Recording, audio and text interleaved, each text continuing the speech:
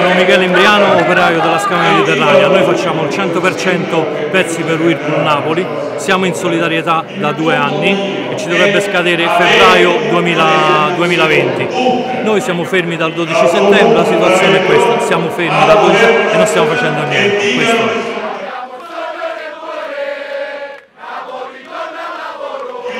sono della Catta Antonello, sono RSU della Comap Sud SRL, un'altra azienda indotto della Whirlpool di Napoli.